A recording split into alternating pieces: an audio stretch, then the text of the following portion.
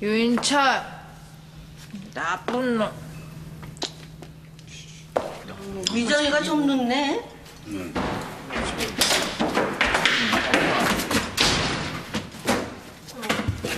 죄송합니다 어메메, 좀 늦었어요 술도 좀 마셨고요 좀이 뭔 말이요? 겁나게 마셔보라구만.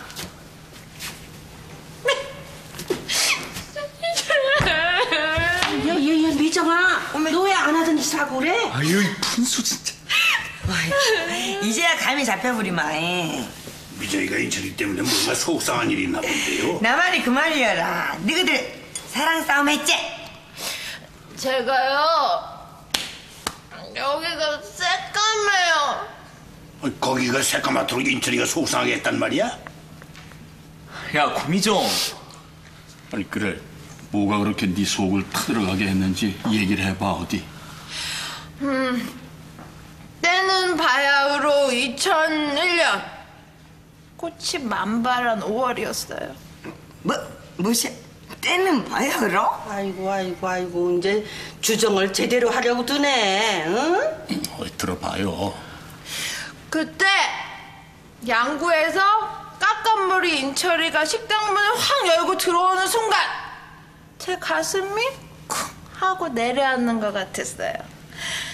하, 잘생기진 않았는데 머리통이 눈부시게 예뻤어요. 어메, 어메, 어메. 그럼 머리통이 가렸단 그 말이야? 야 고미정 너 지금 무슨 헛소리를 하는 거야 그래, 뭐, 하긴, 우리 인철이 머리통이 예쁘긴 예쁘지. 깎아놓은 밤돌 같은 게. 아이고 다들 즐거워하시는 분위기께서 죄송한데요 아 이런 술주정 받아주면 버릇되거든요 그래 미정아 그래서 때는 바야흐로 2005년. 지금은 여름이잖아요. 그러니까 제가 인철이를 바라본 세월이 그만큼 흘렀다는 거죠. 양구에서 날 버리고 도망쳤을 때도 아유 누가 버리고 도망쳐 그건 서로 합의하에 그리고 선배님이랑 좋다고 같이 어울려 다닐 때도 전혀 언제나 인철이 뒷모습 바라보면서 인철이가 행복하기만을 진심으로 바랬어요. 그리고 선배 언니랑 속상한 일 있다고 인생 상담할 때도 그것도 제가 다 받아줬어요. 아, 그랬어?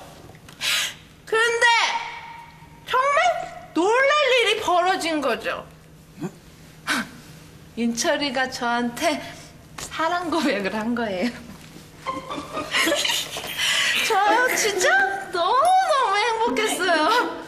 인철이가 자기 방으로 저 끌고 가서 저한테 키스했을 때 아, 그때 저요 막 심장이 막 쿵쾅쿵쾅 막 터질 것 같았어요. 그렇지.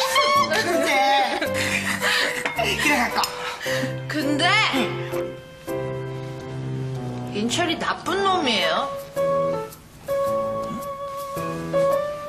이제야 본론이 나오는 모양이구만 어째서 나쁜 놈이야? 나를 비참하게 만들었어요.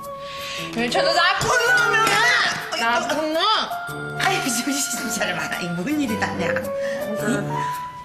아이고, 참말로. 아이, 정신 차려 봐라. 왜요 아저 비참하게 만든 적 없어요 아유 정말이에요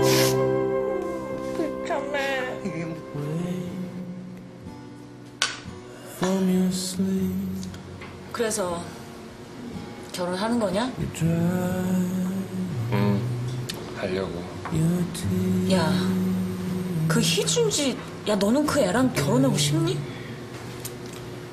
나한테는 아무나 마찬가지야. 누구든.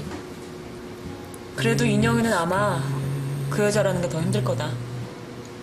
네가 결혼하기로 결정됐다니까 하는 얘기다. 다 끝났으니까. 야, 인영이 널 위해서 연극까지 하는데 너는 그런 배려도 못하냐? 너 나쁜 놈이야. 연극이라니? 무슨 소리야? 니네 엄마가 인영이한테 결혼할 남자가 있다고 해달라고 했단다. 너 등 돌리고 떠날 수 있게. 뭐야? 뭐라고? 너 그럼 정재민 사장이랑 정말 결혼할 사이라고 생각한 거야? 야 김기준